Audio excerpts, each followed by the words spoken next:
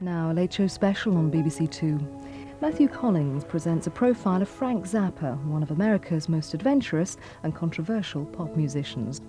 Zappa's work is both satirical and scatological, and this is reflected in some of the language used in the programme.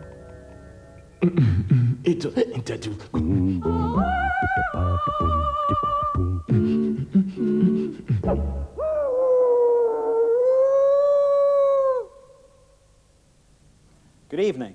The American musician Frank Zappa is one of the most exotic, original and complex figures to have emerged from rock culture. Band leader, guitar hero, composer, satirist and political commentator, Zappa has eluded easy categorization for three decades. And uniquely among rock idols, the career of the man who put the sneer into rock evolved outside the mainstream of pop history. Something of a recluse in recent years and struggling against serious illness, Zappa agreed to give The Late Show an exclusive glimpse into his world. We went in search of the man, the myth, and the moustache that is Frank Zappa.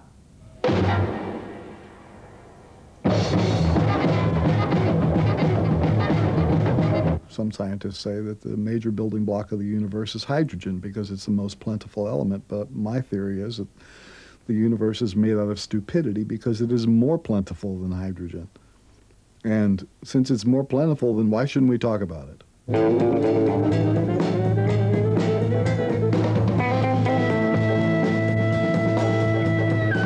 I was happy to outrage anybody who liked to be outraged.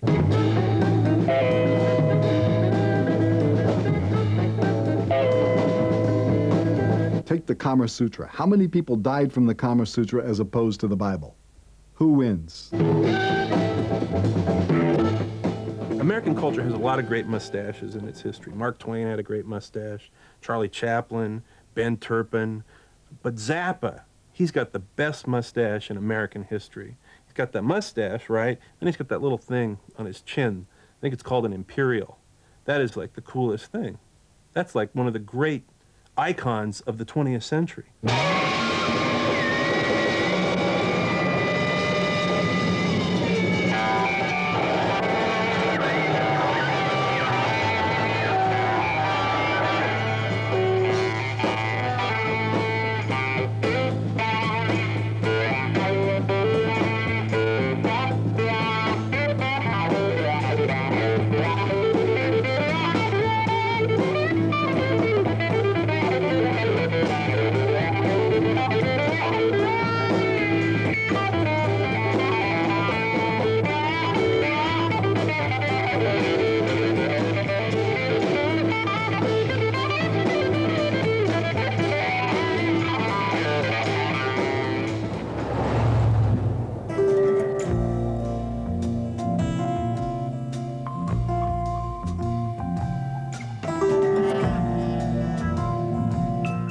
Frank Zappa has spent 30 years refining the eclectic style of his music.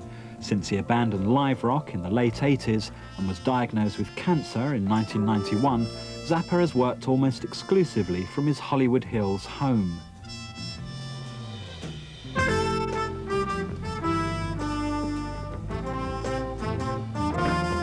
A compulsive archivist, Zappa recorded nearly all his live performances of the last 15 years and has retrieved from record companies the master tapes of all his studio albums. Where did Frank say it was?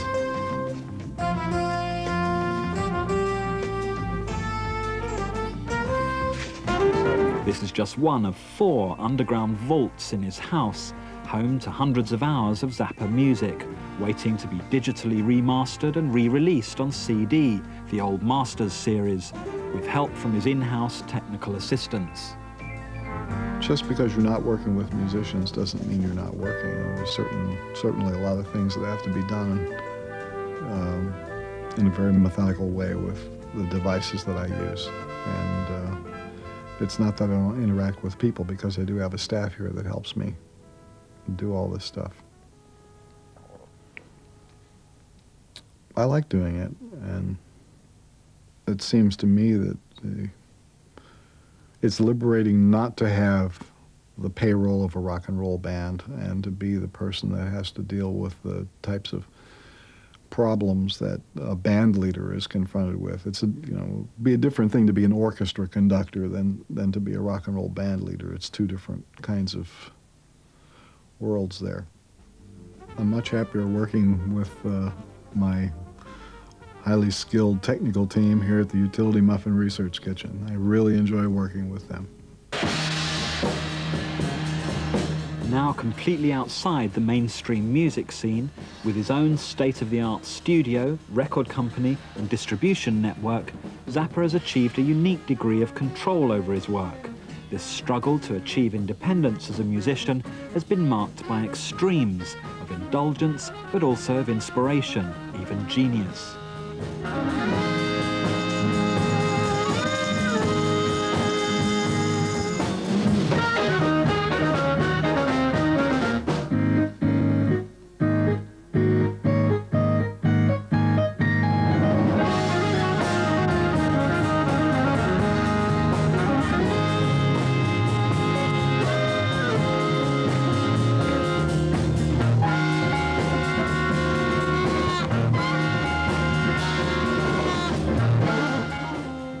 Resident in his Laurel Canyon retreat, the young Zappa spent his high school years in a very different California, here in the remote town of Lancaster near Edwards Air Force Base in the Mojave Desert.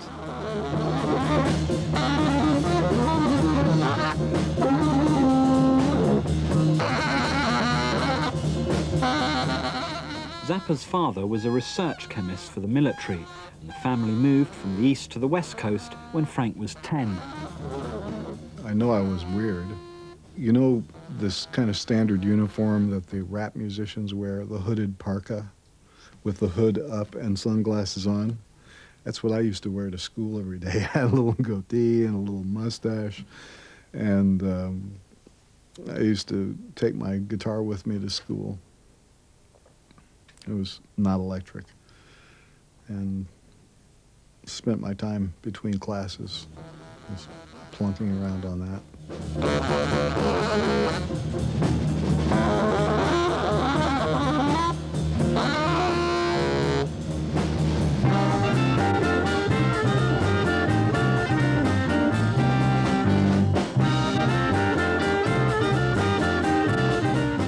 when I knew Frank in school, he was two years ahead of me in, in high school. And um, uh, Lancaster was just a barren town. Uh, it seems like all the misfits from uh, Los Angeles and San Bernardino counties were sent up there uh, to get out of everybody else's face. Um, there wasn't really anything to do there. You spent most of your time just wandering around through the desert, you know, trying to occupy yourself with anything. You know, that's that's probably why most people got into music or or just out drinking all the time on weekends. It's about all there was to do. But, uh, it's one boring town, believe me.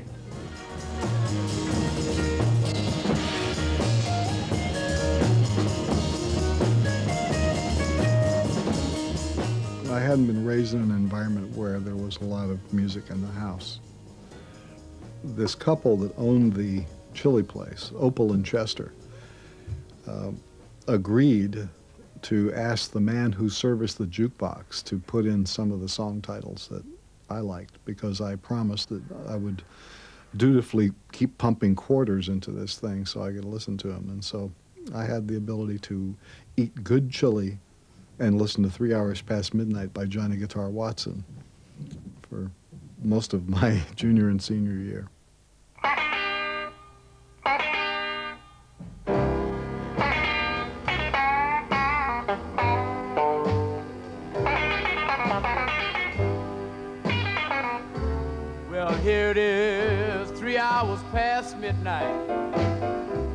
I'd come into contact with Charlie Parker records and things like that, but they didn't hold my interest.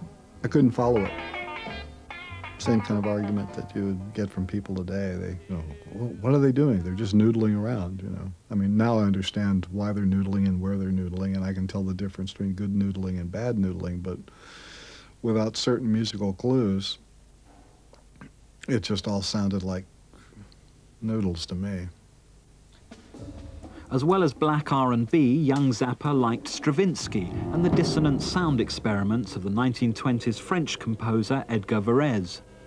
I don't know how I finally got introduced to it. I guess it was because of that Varese album that I read about in a magazine. Went out and bought it. And you can imagine what a shock that was after listening to rhythm and blues records, then coming home with that album and and hearing ionizations and uh, Octandre, things like that. I liked it a lot. Nobody had to explain it to me. It wasn't like jazz. Uh, they were doing some noodling in there, but it sounded like they knew what they were doing.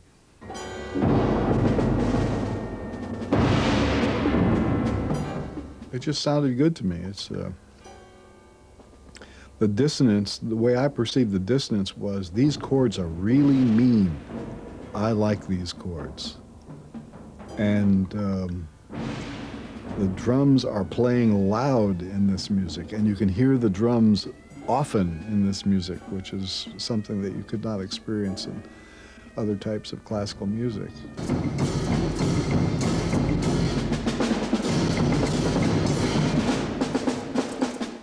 For all his fascination with wildly opposed musical styles, Zappa's rite of passage as a musician took a conventional course, playing in local bands and suffering the indignities of the cocktail lounge combo. In 1964, Zappa went to Los Angeles and met a group of musicians who were willing to try something new. This was the band who were later to become, under Zappa's tight control, the Mothers of Invention. When we finally got our record contract with MGM, some pinhead there had decided that um, the Mothers is a bad name for a group and that no radio station would ever play our records because uh, the name was too risque. Because at the time it was, uh, you know, if you were a good musician, uh, you were a motherfucker. And Mothers was short for collection of motherfuckers. And actually, it was kind of presumptuous to uh, name the band that because we weren't that good musicians. We were, but by bar band standards in the area, we were light years ahead of our competition. But in terms of uh, real musicianship, I suppose we were right down there in the swamp. So, uh, out of necessity, we became the mothers of invention. It was uh, just by adding those other two words to it, we were able to keep the record company happy. But naturally, the radio stations didn't play the music anyway because it wasn't about the name of the band. It was what we were singing about and the way the music sounded. Mr. America, walk on by your schools that do not teach. Mr. America, walk on by the. The Mothers' debut album, Freak Out, was a new kind of collage of pop, blues, and psychedelia with intelligent lyrics, music that used parody and black humour to engage in sharp social satire. The Mothers seemed to be at home with a commercial pop sound and at the same time utterly contemptuous of pop.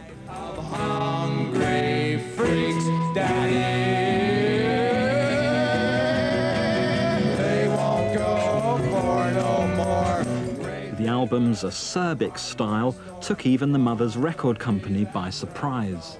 They didn't find out until the day that we went in to start recording. In fact, they didn't find out until the second song. I think the first track we laid down was Any Way the Wind Blows, and the second track was Who Are the Brain Police, and I could see Wilson on the phone through the control room window calling the head office in New York saying, well, uh, you're not going to believe this.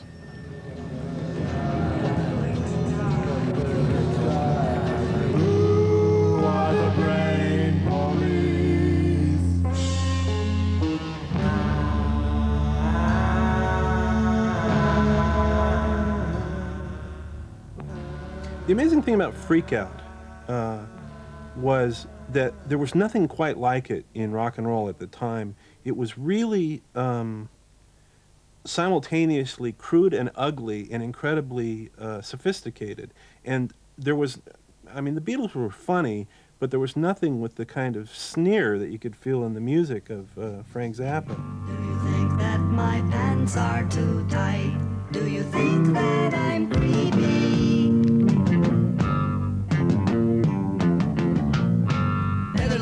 Better before you say you don't care. Shut your fucking mouth about the length of my hair. How would you survive if you were alive, shitty little person? Although the Mothers' sound could only have come from LA, it wasn't until they left there in 1967 to take up a six-month residency at the Garrick Theatre in New York that they began to find their audience. We were never that popular in Los Angeles because even compared to New York, Los Angeles is a very conforming community. It just seemed to me that at that time, San Francisco was more conformist, Los Angeles a little bit less. When we moved to New York, there was virtually no scene at all. There was no long-haired anything there. People looked at us like we were from Venus. And by the time a scene did finally erupt in New York City, it was uh, much more interesting because it had ethnic diversity, it had cultural diversity because of all the different parts of the city where there were concrete artistic things going on. There were things happening that were uh, experimental, not necessarily wonderful, but at least experimental. People trying to do something that was uh, different. This is a song about vegetables. They keep you regular. They're real good for you.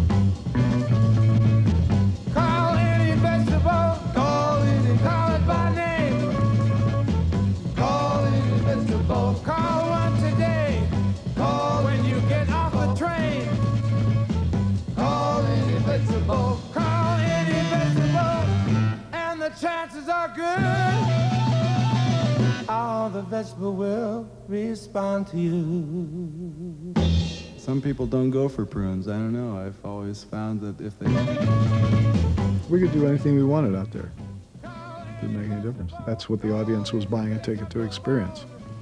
Two main demands of the audience. They wanted to hear some material that they could recognize and they wanted to have some sort of live performance experience that nobody else would give them. A surprise, in other words. Whether it's going to be musical or theatrical or something, they would like to have a surprise. And I would like to give them a surprise.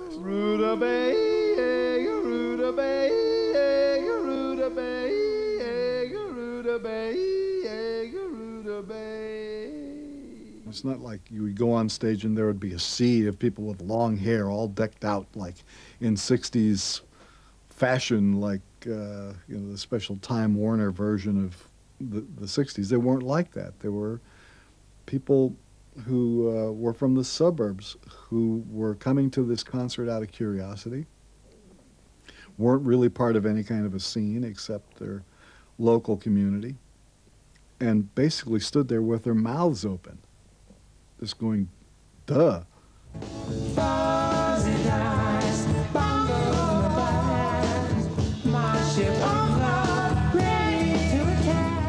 Was probably one of those rather stiff people from the suburbs. I, I think some of us did understand, and we kept coming back for more and more and more. And uh, I remember being very upset when they finally finished their stint at the Garrick Theater and went back to L.A. I felt as if the real, you know, heart had gone out of New York City, and I had to get back on with my conservatory music training life, which seemed very dull after this. One never knew what to expect. There were some nights that you just heard pure music, and other nights Motorhead would be talking about fixing his car, with Jim Black's drum beat in the background. Sometimes Frank would just sit in a chair and glower at the audience. Sometimes there were more people on stage than there were in the audience. And um, because of that, Frank even got to know some of us by name. There were so few hardcore mothers freaks then that uh, we were all very noticeable to him. Um, I remember Stravinsky being played. I, I remember droning music going on for, for ages, and then in the middle of, of all of that, the song that then became Oh No, I Don't Believe It, sort of breaking through the clouds. And I mean, it just shocked me how anything could be so beautiful and how such beautiful music could come out of such bizarre looking people. You say love is all we need. You say with your love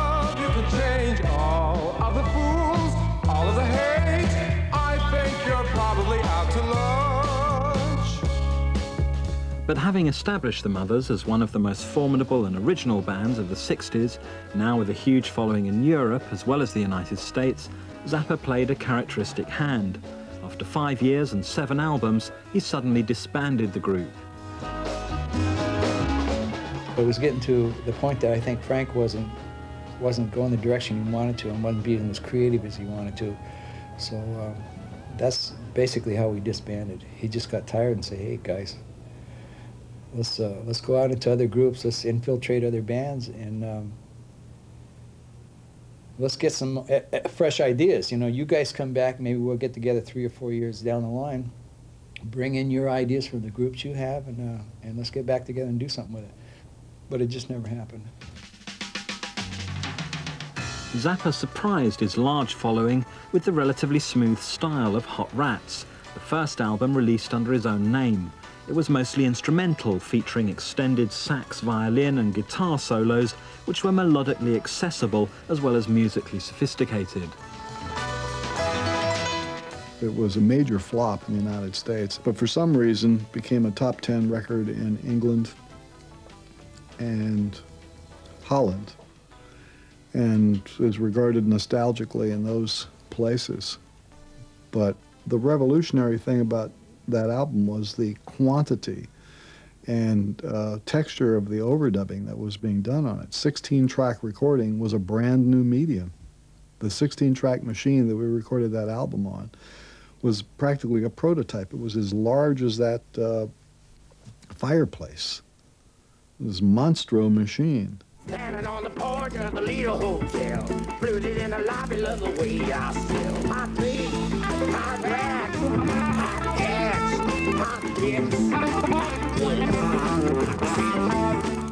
Hot Rats was completely free of the Dada disruptiveness that had characterized the Mothers albums. The one vocal track, Willie the Pimp, was sung by an old high school chum, Captain Beefheart. Then, just when a solo career looked likely, Zappa reformed the Mothers, but with a different lineup, including two singers brought in from the 60s teen group The Turtles. For the new group, he invented a new theatrical style. The old surrealism was played down in favour of increasingly bawdy slapstick humour. Hi, friends! Did you ever consider the possibility that your penis or in the case of many dignified ladies, that the size of the titties themselves might provide elements of subconscious tension. Yes, weird, twisted anxieties that could force a person to have to become a politician. Hurrah! A policeman! Yes! A Jesuit monk. Dominus vobiscum et cum A rock and roll guitar player.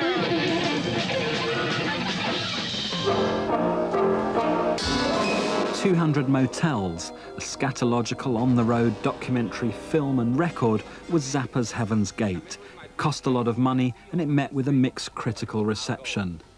But the film was important because it showed Zappa's first collaboration with a classical orchestra.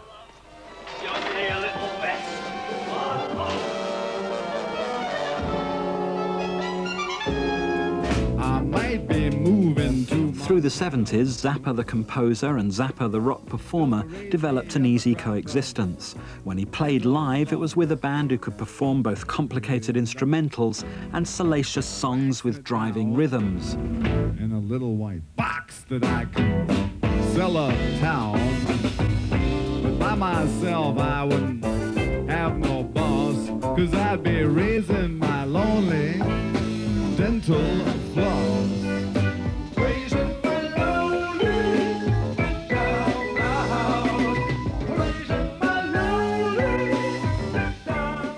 Tell you, Frank was leading the band from every possible aspect and angle and vantage point.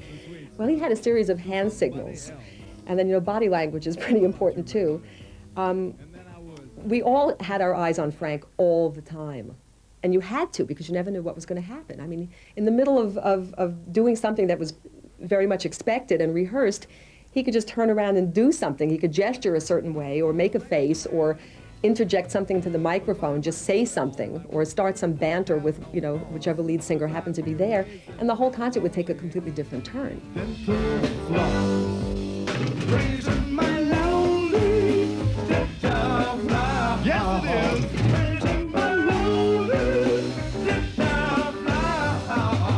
Free in that way. It was incredibly tight, but it was free as well. It's an interesting balance. Moonlighty. Help me out, Ruth. Tweezer Glen. And then I get a cup of coffee. coffee and give my foot a push. Just me and the pygmy pony over by the dental floss bush. And then I might just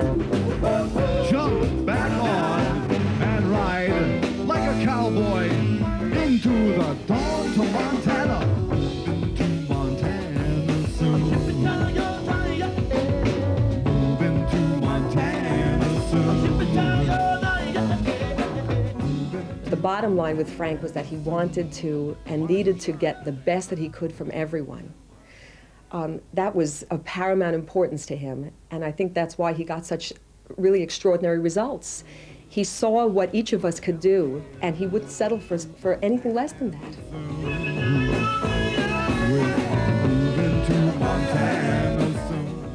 For me, it was always more interesting to encounter a musician who had a unique ability, find a way to, to uh, showcase that, and build that uh, unusual skill into the composition.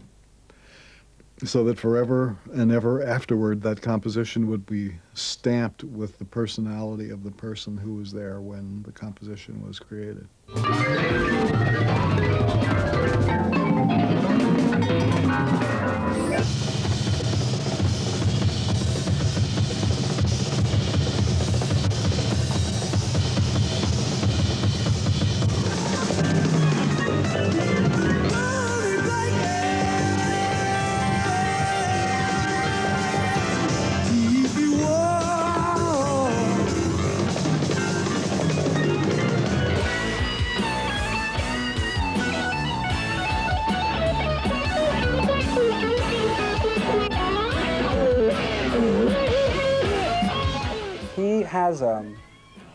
Incredible insight, um, uh, sort of an intuition about musicians. I mean, I sat in a room and watched him go through, you know, hordes of musicians, bass players, and we were doing auditions. And he just seems to know, um, he seems to be able to, um, you know, get what you're about musically and take that and take it to the, to the top of your ability.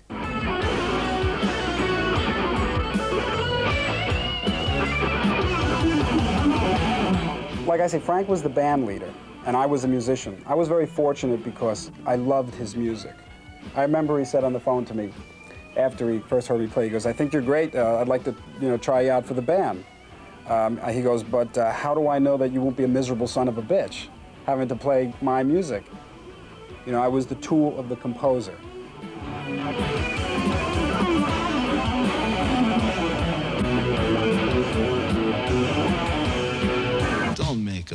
A fuss, just get on the bus.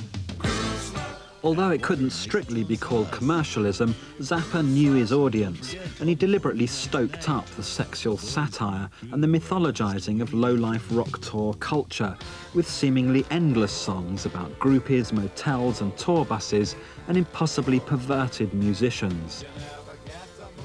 Zappa on sex is what usually draws the critics' fire. Well, let's look at the statistics. Uh, I think that the last time anybody checked, the, my catalog is about 1,200 titles. And I would be amazed if more than 100 of them were on sexual topics. I, I'm a simple person, you know? I have very small desires in life. Titties and beer. I'm making comments about society, and the society that I was commenting on was engaged in what they love to describe as the sexual revolution. Um, a world of sexual incompetence encountering each other under disco circumstances. Now, can't you do songs about that? A good loving man, it's hardest to find. A good woman needs to ease her mind. I know a few that need to ease it behind. All you gotta do is grease it down and everything is fine. Keep it greasy so it'll go down easy. One of the great things about uh, uh, Frank's satire is that he picks targets that can't stand to be laughed at. And that's a real, real great secret of humor. You got to pick the people who get the most upset and crazed when you make fun of them. And Zappa did it time and time again. He, he picks targets I would never pick, but he does some good ones, and that's definitely been an inspiration to me. women's liberation came creeping all across the nation. Tell you people, I was not ready when I this dyke by the name of. She made a little speech then. Ah, she tried to make me say when. She had my balls in a but she left the dick. I guess it's still hooked on, but now it shoots too quick. Well, have you ever looked at people fucking? Ouch. I mean, that's a silly looking thing to begin with. It's silly looking. Let's face it, it looks silly. Why not say so? And from that, you could de- develop a number of theories about it, whether or not it should be celebrated. I mean, so what if it feels good? It's still silly. I mean, now's the time to whip out this magazine, eh? please. Look, here it is the 90s. Here's where we are. We're to this now. Sh- shouldn't somebody say something about people who will buy $1,000 dildo things that they plug into their computer to do stuff to them with 3D goggles attached to it? I, there's got to be an album in there someplace. Don't fool yourself, girl. Right. Don't fool yourself, girl. Right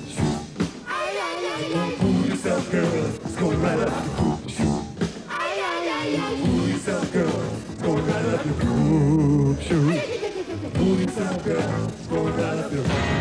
Oh, I knew you'd be surprised. It's pretty easy to hate me for whatever you choose to hate me for. Because I'm virtually unrepentant. And I, I just don't care. My insensitivity is pretty evenly spread around. A foolish young man of the Negro persuasion.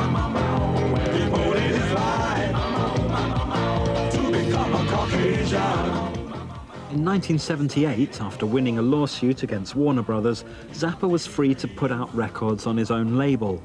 He then went into overdrive. In the 80s, he was releasing albums every few months, including one of live guitar solos, 80 minutes worth. Zappa now entered rock's pantheon of guitar heroes.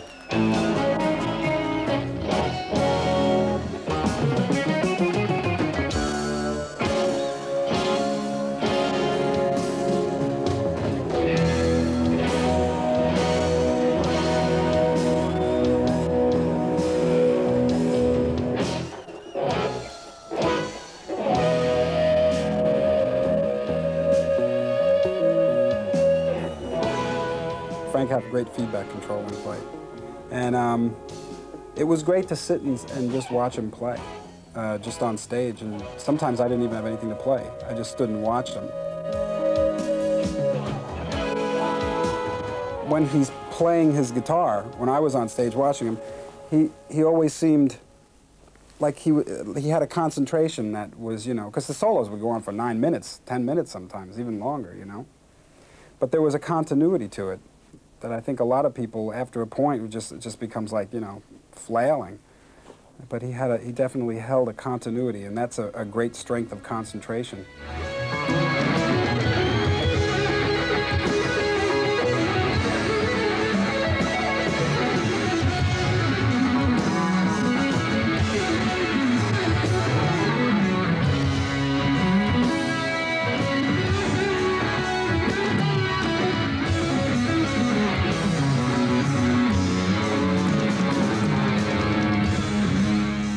Opinion, it, it, it's in a sense it's old school in the way that um, it's it's bluesy.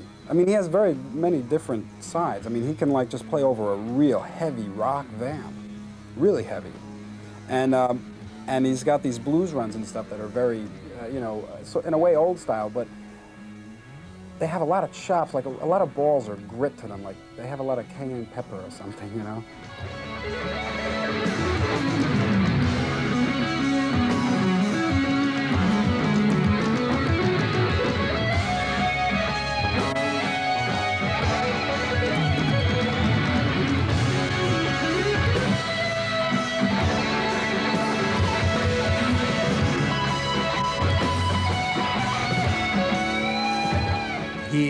Doesn't look at the instrument in terms of, uh, you know, the all the standard ways. Like, for example, you know, you pick up a guitar, and there's little boxes that your fingers can go in that you could conceivably play in. Frank doesn't think of those sort of technical things at all. He just he's all over the place playing notes that he wants to play because he hears everything that's going on in the music around him and he creates this air sculpture as he calls it when he when he plays.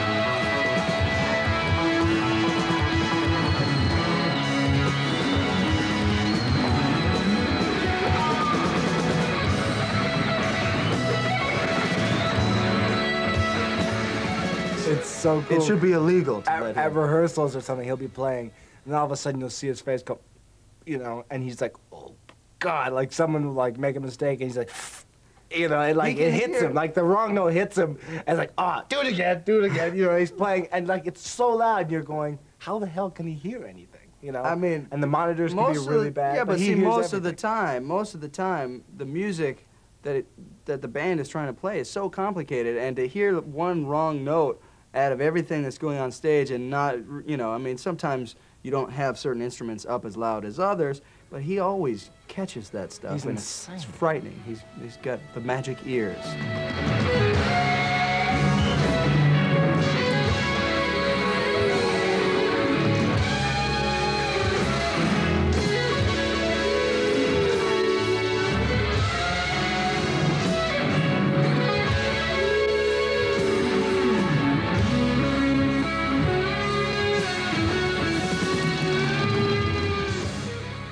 Zappa finally stopped playing live in 1988. Tiring of life on the road and his band squabbling, he turned to business and politics. He set up his own company to trade with Eastern Europe, and a visit to post-revolutionary Prague in 1991 led to an unexpected alliance with the Czech government.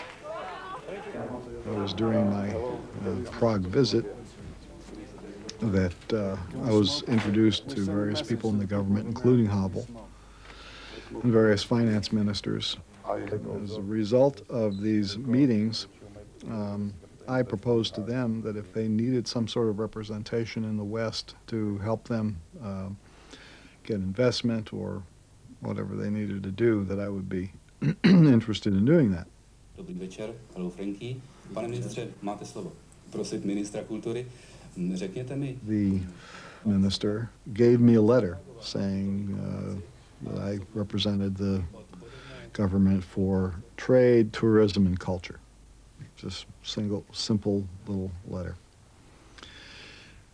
And uh, so I started making phone calls to try and you know, organize things for them. But there was a lot of behind-the-scenes backstabbing and weird stuff going on that I wasn't aware of. We came here today to watch communism die.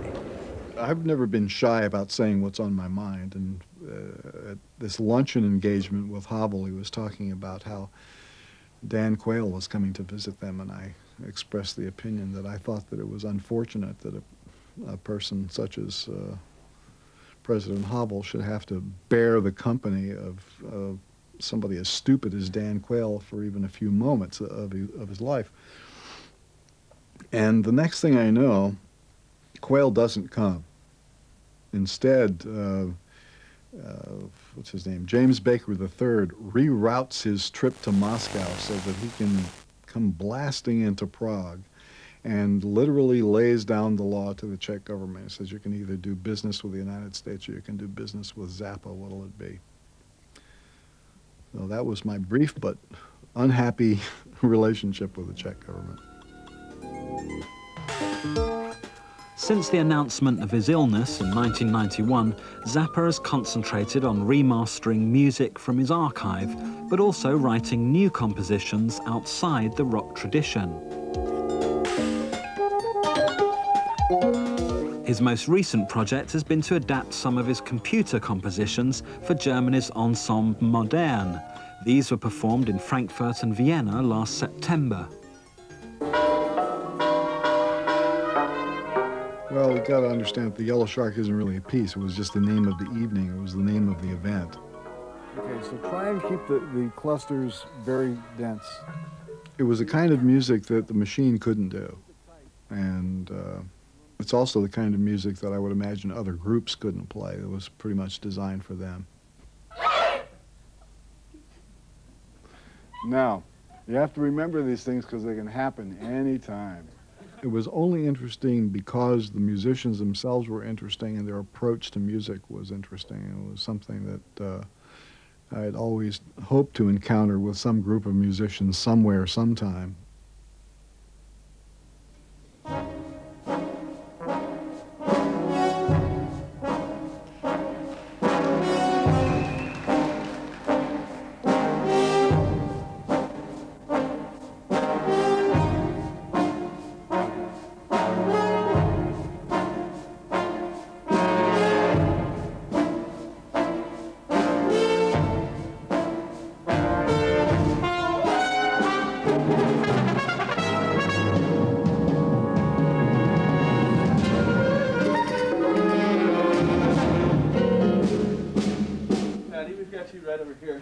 Despite his illness, despite no longer performing live, Zappa has lost none of his relish for experimentation. He recently held what he called a salon at his house, where he recorded the combined sound made by the Chieftains from Ireland, a Tuvan throat singing group from Mongolia, and his old friend Johnny Guitar Watson.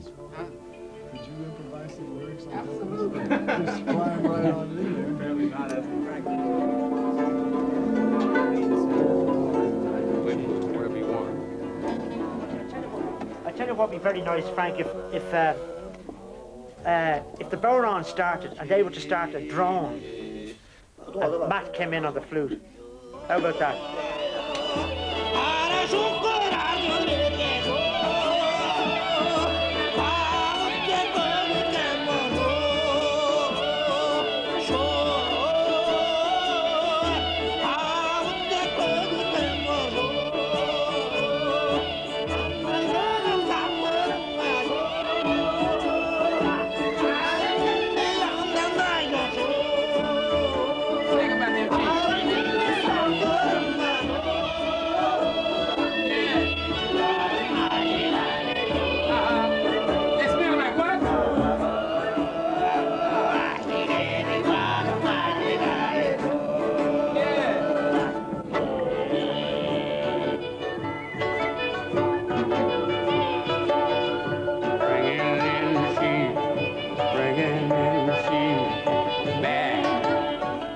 So far, well, see, within the last uh, couple of months, I've finished off three albums. So there's plenty of stuff coming out this year. The thing that we're dumping to tape right now from the hard disk is a project called Civilization Phaze 3. And I'm expecting to have a meeting with some people from the Vienna Opera later this month, and I'm going to talk to them about mounting it as a live production. And if they decide to do it, then that will be the next major thing to occupy my time. If not, I'll find something else. Thank you, everyone, for coming to our uh, soiree. soiree tonight. And hope to have another one one of these days. Good night. Thank you so much. All right. Sweet.